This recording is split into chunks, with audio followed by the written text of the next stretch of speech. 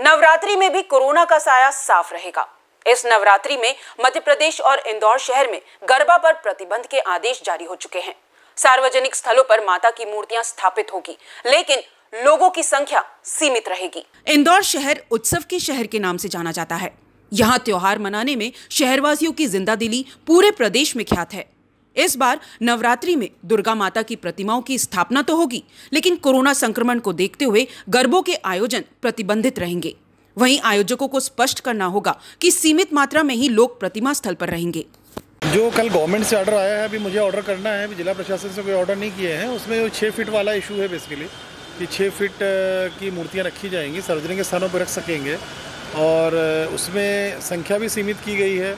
कितने संख्या में लोग आइडियल इमर्शन के लिए जो विसर्जन के लिए जा सकेंगे तो गरबे की अनुमति नहीं रहेगी, अन्य चीज़ों की अनुमतियाँ नहीं रहेंगी, वो भी बड़ा क्लियर किया गया है। उस क्रम में हम लोग पृथक से आदेश जारी करेंगे, पर वो पूरे स्टेट के लिए आदेश जारी हो चुका है।